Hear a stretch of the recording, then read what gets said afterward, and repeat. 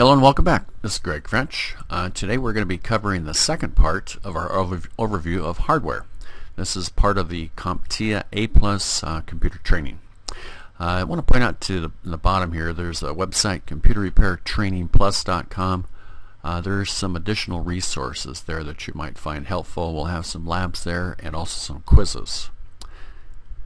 Uh, hardware 1.1. A little bit about me again. Uh, I've been teaching about 12 years this A plus course, uh, certified CompTIA A plus, Network Plus, also certified Cisco, CCNA, CCNA, and also certified as a Cisco instructor.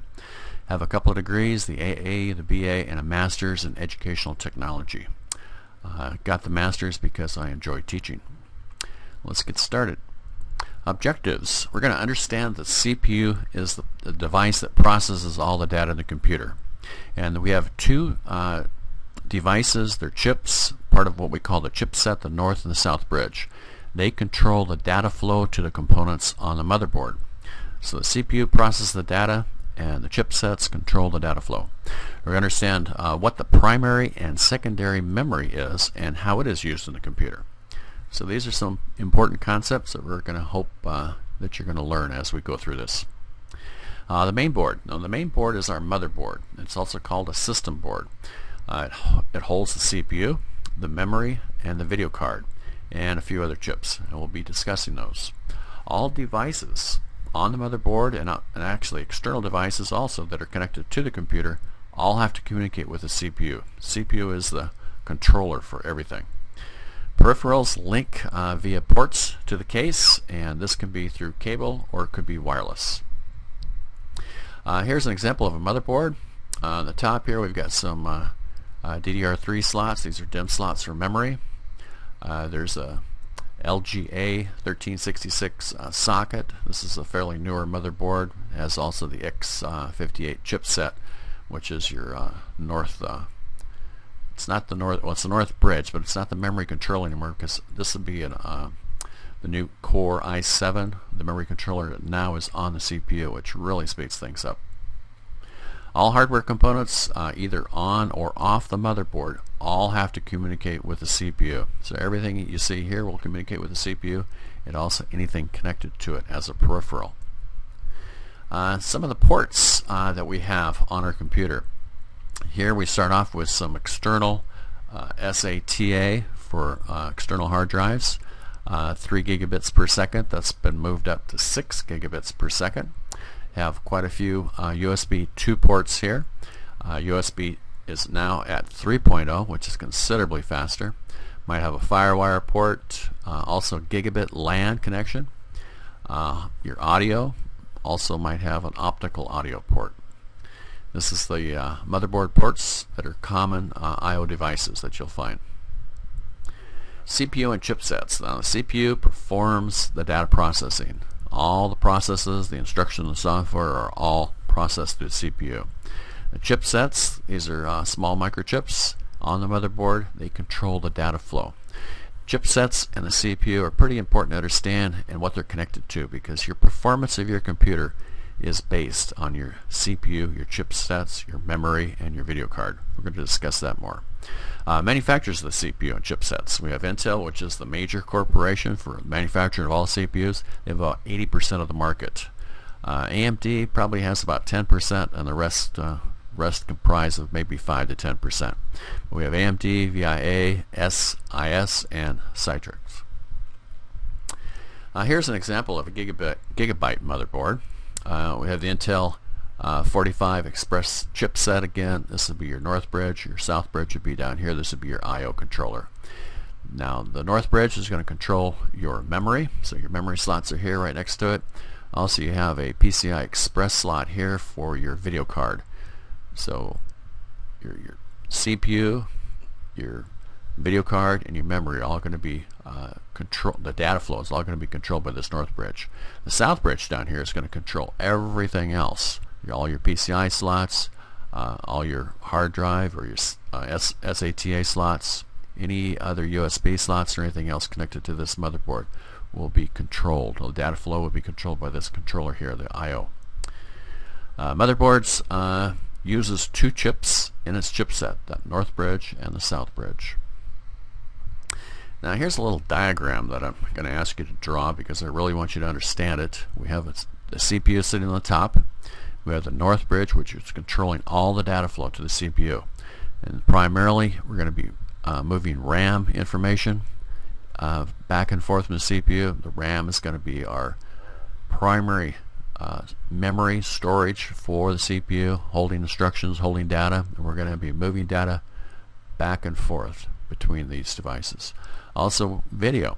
We're running games or any kind of uh, uh, high definition or high resolution graphics, we need uh, a strong or fast video card because we don't want any bottlenecks. Anything that's going to be slowing this computer down will become a bottleneck. So we need a fast video card and fast RAM. Now all our other devices are going to be connected through our South Bridge, such as your keyboard, uh, your mouse, your hard drive, uh, all the other components that are considerably slower will be connected to your South Bridge. But they're not going to normally be a bottleneck uh, to your computer because your computer performance is based on your CPU, your RAM, and your video card. Primary storage, which is also considered temporary storage. This is your RAM and it's used uh, primarily by the processor. The processor will be moving uh, information, data, instructions in and out of the RAM very, very quickly. Secondary storage. This is what we call permanent storage. This would be your hard drive, your CD, floppy drive, external drives, anything that can, can store data on a permanent basis. Here's an example of a uh, DIMM chip. This is RAM memory. It's a temporary place to hold instructions and data while the CPU processes. You see there's a little slot here. The DIMMs, we have uh, primarily DIMM 2 and DIMM 3 today, or DDR2 and DDR3. And this little slot is in a position so that when you plug this RAM into the slot of the motherboard, you won't be able to uh, put it in unless the slot lines up. Primary storage, RAM, random access memory temporary storage on the motherboard. When the power goes down on the computer, this memory goes away. Types of RAM.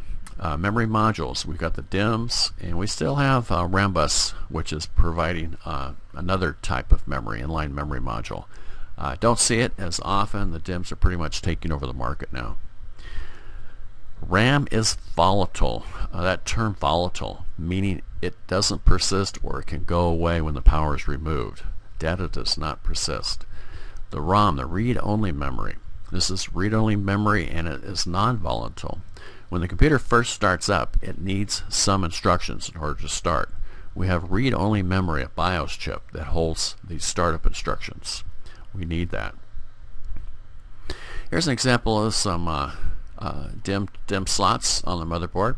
This would be a two-channel uh, memory. We could put uh, DIMMs in either of these, or all four of them could be populated.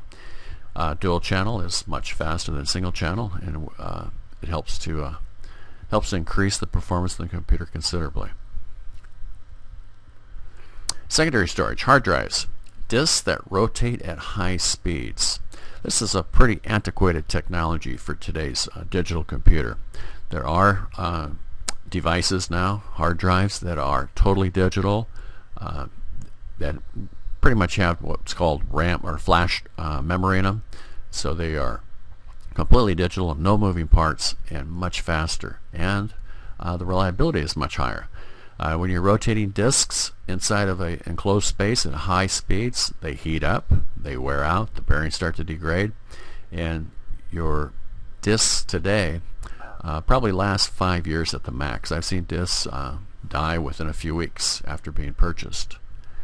Uh, integrated drive electronics, the IDE. This is an older technology that was uh, used primarily with the hard drives. It's been replaced. Uh, this ATA, AT is the attachment standard, specifies the motherboard hard drive interface. Now the types of the ATA, you have the serial, which is which is the newer type, and it's pretty much replaced the parallel. Uh, much faster, uh, much faster than the parallel. The SATA, only one device per port, where the, where the parallel you could actually have two devices uh, per port. But again, the SATA, the speeds have increased considerably over the parallel. Uh, here's a here's a drive that has its case removed. You can you, if you notice here, there's quite a few platters. One, two, three, four, five. Looks like six platters. Today, most drives might have either one or two platters. This would be an older hard drive. Here's the inside of a computer. Now this big flat ribbon cable is your 40 pin IDE cable. You don't see that as much anymore, but you can see it has two connectors. One is usually connected to the hard drive, another maybe to a CD-ROM. And then it has a connector on your motherboard. You see these little orange connectors here. These are the new uh, serial uh, ATA connectors. And these are primarily being used today because they uh, much faster throughput. You also have some DIMM chips uh, down here, DDR2 memory. This is the two channel memory again.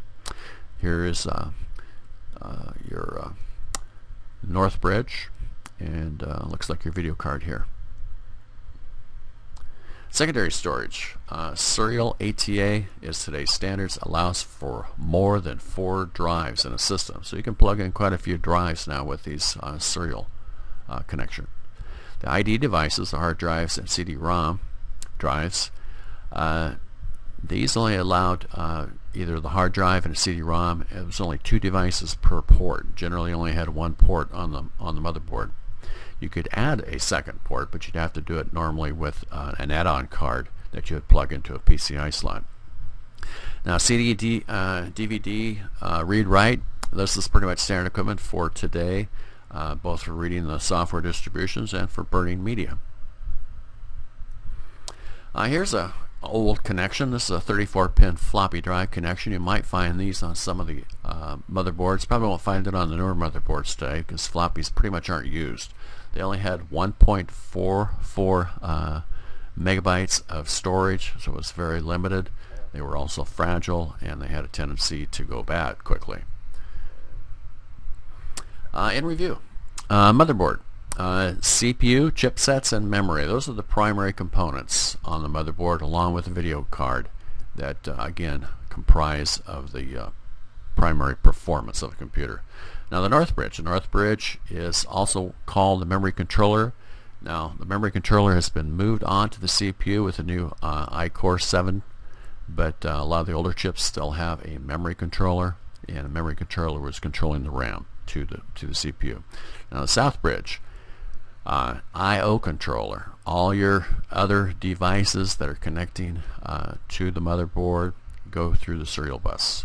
Your PCI slots, your hard drive, your your uh, mouse, your keyboard, your CD-ROM, all connect through the uh, South Bridge. Primary storage again, RAM. It is volatile, meaning it goes away when you uh, turn the power off. Not persistent.